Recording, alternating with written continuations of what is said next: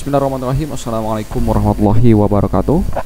Halo rekan-rekan semua Kembali lagi bersama kami. Semoga dalam keadaan sehat selalu.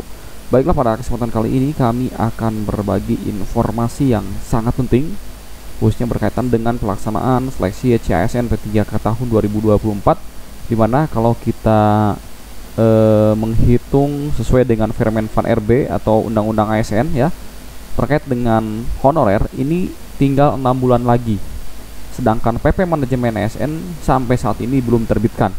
Dan untuk itu silakan simak videonya sampai selesai. Dan seperti biasa bagi rekan-rekan yang baru bergabung pertama kali menemukan channel ini untuk menekan tombol subscribe-nya dan aktifkan lonceng notifikasinya agar mendapatkan informasi-informasi terbaru seputar pengangkatan honorer menjadi ASN P3K.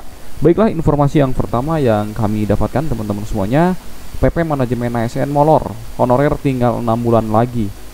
Pemerintah ini serius enggak sih? Nah, ini mungkin pertanyaan dari rekan-rekan honorer ya, eh, yang tentunya eh, masih sabar menunggu ya eh, pada seleksi P3K 2024 ini karena sudah eh, mungkin pertengahan menuju akhir bulan Juni ini ya, belum ada eh, bakal diterbitkannya PP manajemen ASN tersebut ya. Saat ini sudah pekan ketiga bulan Juni, tetapi jadwal pendaftaran P3K 2024 yang digadang-gadang sebagai cara penyelesaian masalah tenaga honorer atau non-ASN belum juga ditetapkan. Di sisi lain, PP Manajemen ASN yang menurut Menfan RB Fa Abdullah Ajwar Anas merupakan regulasi penentu nasib jutaan tenaga non-ASN atau honorer belum juga diterbitkan. Sekedar mengingatkan bahwa Undang-Undang Nomor 20 Tahun 2023 mengamanatkan seluruh regulasi turunan undang-undang tersebut termasuk PP atau peraturan pemerintah manajemen ASN harus sudah terbit paling lama 6 bulan terhitung sejak undang-undang itu diundangkan.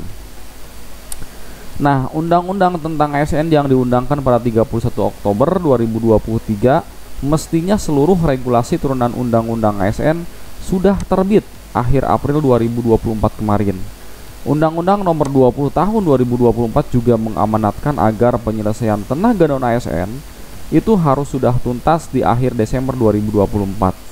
Dengan kata lain, keberadaan honorer tinggal 6 bulan lagi. Wakil Ketua Komisi DPR 2 eh, Komisi 2 DPR Saan Mustafa saat raker dengan eh, dengar pendapat dengan Kemenpan RB, BKN dan Komisi ASN di Senayan di beberapa hari yang lalu pada hari Rabu tepatnya menyinggung mengenai belum terbitnya PP sebagai aturan turunan dari Undang-Undang 20 eh, tahun 2023 tentang ASN mestinya sudah April itu sudah selesai ya. Nah, mestinya itu uh, bulan Mei sudah uh, persiapan pendaftaran ya. Pada bulan Juni ini harusnya ini sudah dilakukan uh, seleksi P3K dan juga CPNS. Nah, sekarang sudah bulan Juni.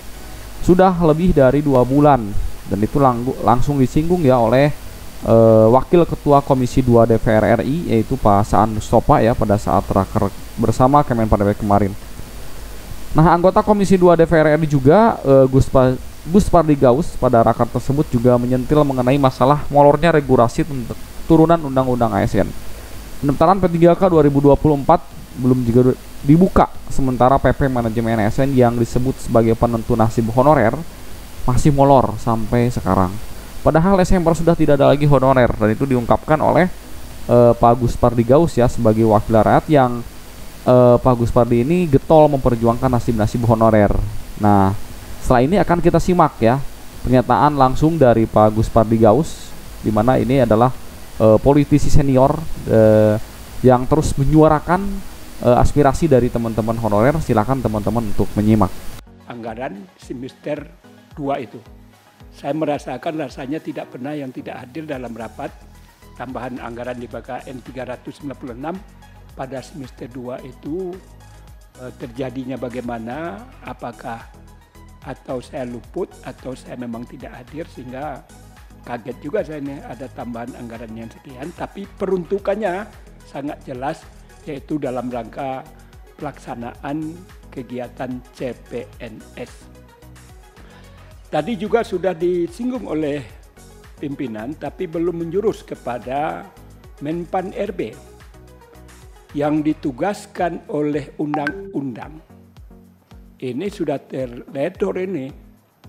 Saya juga ditanya oleh berbagai mass media terhadap kewajiban BKANO Mempan RB untuk melahirkan PP berkaitan terhadap kebijakan di mana KSN sebagai lembaga yang melakukan pengawasan itu sudah dieliminir akibat dari lahirnya Undang-Undang 22 Undang-Undang Nomor 20 tahun 2023. Oleh karena itu tentu saya minta juga bagaimana progress report karena dijanjikan di bulan April sebab Desember itu tidak ada lagi persoalan-persoalan yang berkaitan terhadap masalah honorer dan juga status daripada lembaga pengawas ini memang kita dulu sebagaimana dibilang oleh pimpinan kita berjibaku dan lain sebagainya tetapi inilah sebuah kebijakan dan keputusan yang diambil tentu kita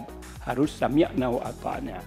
Harusnya dalam persoalan ini Menpan RB juga harus paham kita sedang menghadapi pilkada serentak yang belum pernah dilakukan selama ini.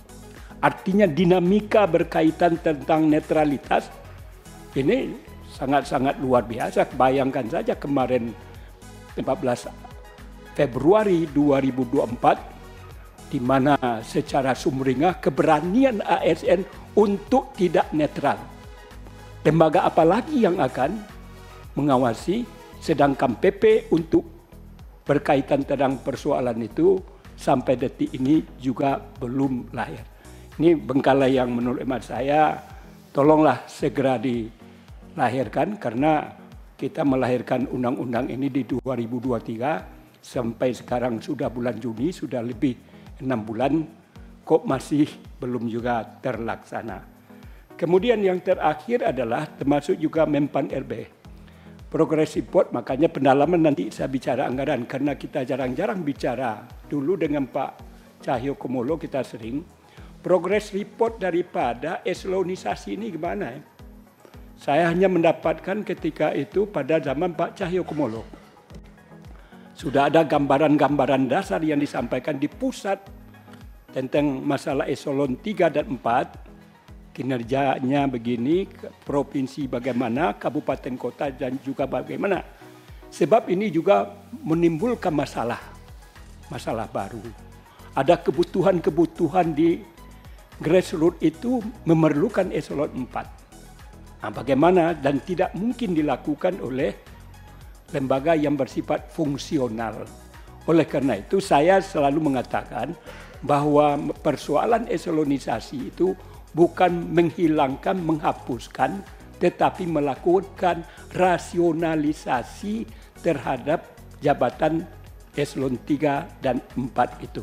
Tentu ini juga perlu pemikiran, pendalaman, kajian yang lebih mendalam dalam melakukan rasionalisasi itu. Jangan hantam kromo aja, jadi kasihan juga. Kemudian yang ter, eh, yang anunya itu adalah masalah fungsional. Dulu sering juga dikatakan oleh Mempan RB ini bahwa anggarannya malah lebih membengkak. Saya nggak nggak masuk akal itu. Dengan adanya di, di, dirasionalisasikannya eselon 3 dan 4 terjadi pembengkakan kalau saya mengatakan malah menurunkan anggaran. Kenapa?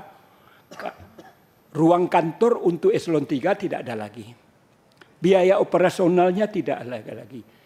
Kemudian uh, apa uh, pangkatnya apa uh, jabatan uh, jabatannya kan tidak ada lagi jabatan. Jabatan